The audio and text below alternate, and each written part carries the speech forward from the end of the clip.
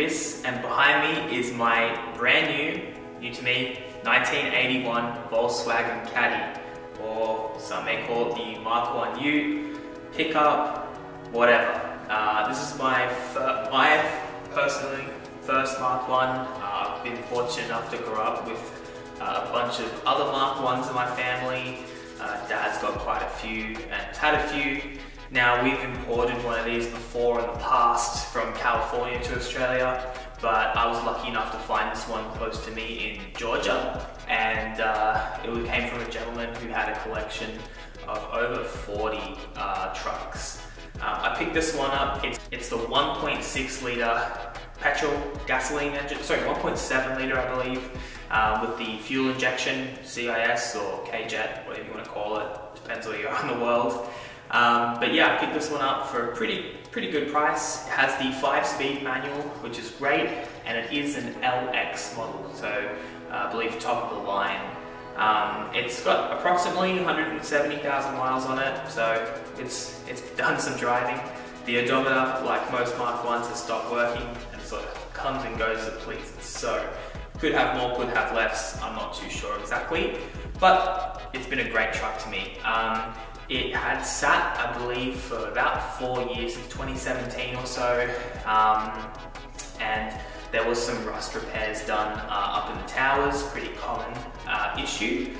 And uh, yeah, had some of the, the gear bushes replaced. Um, it needs one more replaced. Um, sometimes first is a bit hard to get. Steering's a little loose!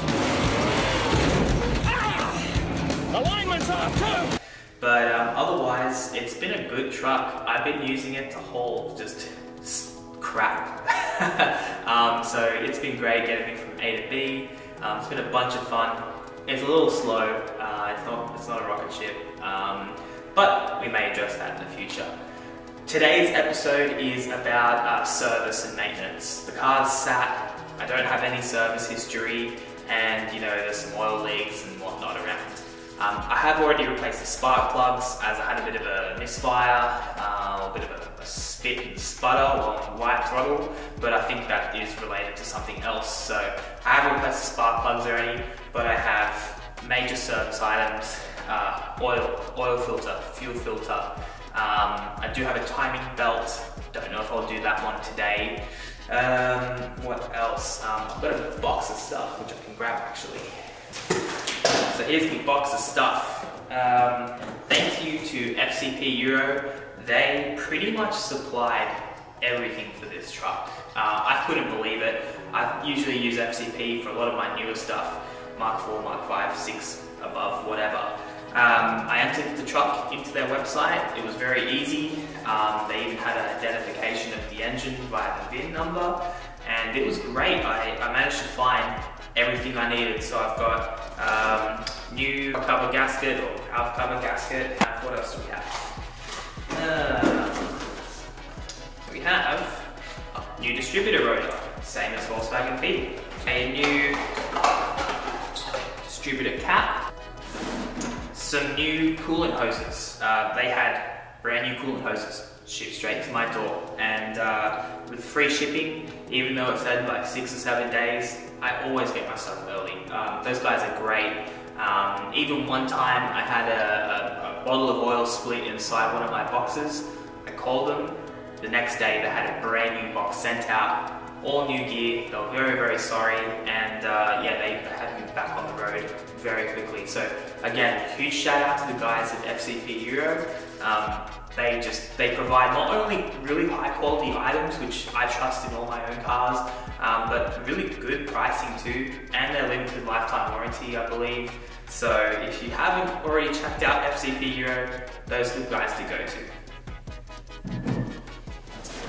Uh, we have some new NGK uh, ignition leads. So what else do we have?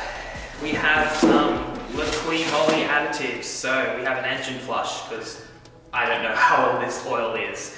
Uh, we have a fuel system cleaner because this will definitely need it. It's sat, it had old fuel when I got it and it's been running better and better the more fuel I put in it. But we're gonna go ahead and replace the fuel filter, do a quick flush, everything should be clean in the fuel system. And then final stuff, of course, our Liqui Moly oil. This is 10W40 with MOS2 anti-friction. So basically already inside this oil, we have the additives and protectants for the truck. So um, this is gonna keep the engine running for probably another 170,000 miles. I strictly use Liqui Moly only. It is a fantastic product. Um, their oil, their staff, their customer service, everything about Liqui Moly, the science, it's fantastic. It's German oil, made in Germany for German cars and, and for other cars too. It's great. Any any car will be fine, but for your German cars, you've got to have German oil. Just like my German oil filters and other German parts, it just works. So again, Liqui Moly, fantastic products. It's all I'll use. But nonetheless, thanks for coming along and watching this journey. We're gonna get stuck into it right now.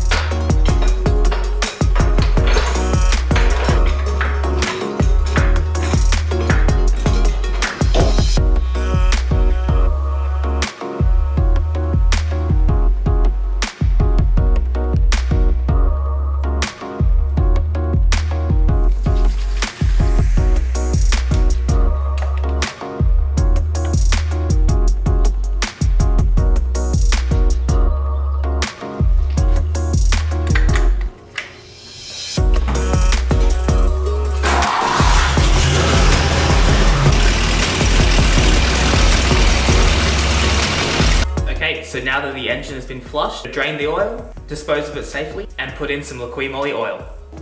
And remember, with each new service, be sure to replace the sump plug gasket.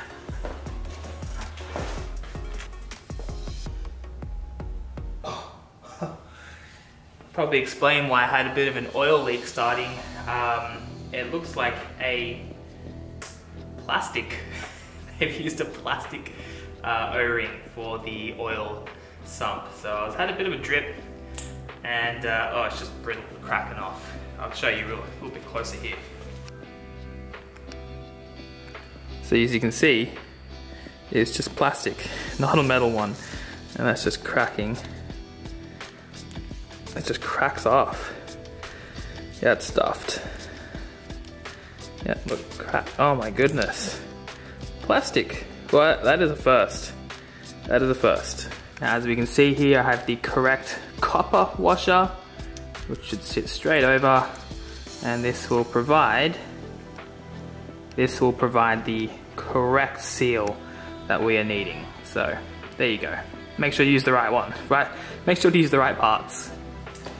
So, after a little bit of research, the oil filters are the same, but I have the diesel filter. Uh, I'm going to play it safe even though it looks like it all fits the same, they're like the same block and whatnot. Uh, I am probably going to run up to the parts store, grab a correct filter, uh, hope they've got something of comparable brands of Mahle or um, Hengst uh, or Mann. Um, but yeah, I'll, I'll, head up to the parts store now, quickly grab everything. Uh, I'm about to jump on a podcast also with Old Volks Home. Um, be sure to check out those guys. Um, uh, Dan has a really, really cool um, Mark 1 Caddy, which he's just doing a PD 130 swap, diesel swap, which is pretty cool. Um, that's over across the pond in the UK. Um, so yeah, uh, I'm to quickly run off, quickly jump onto that podcast, and then get cracking back onto this. Okay, so apologies, uh, that was a really long podcast and then I had a few other things I needed to do.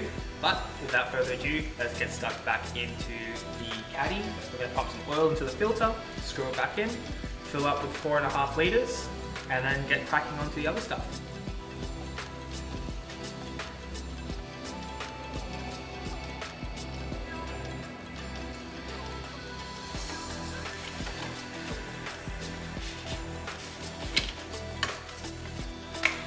Okay, so that is the oil change done. Unfortunately, I had to run to AutoZone and pick up a cheap Mobil oil filter.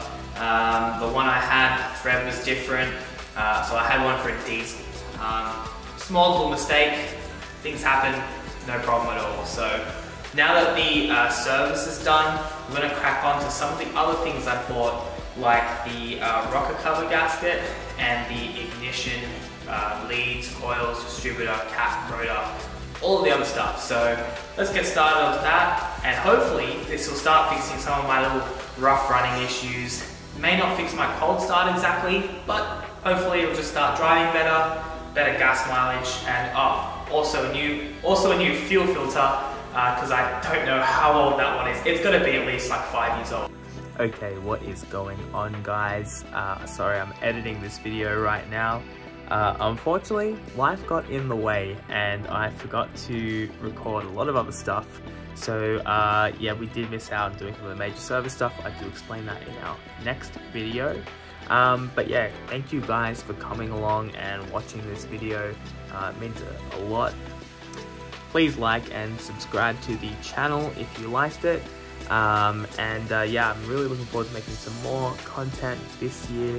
Really trying to step up my game. So uh, again, thank you for watching all the way to the end here.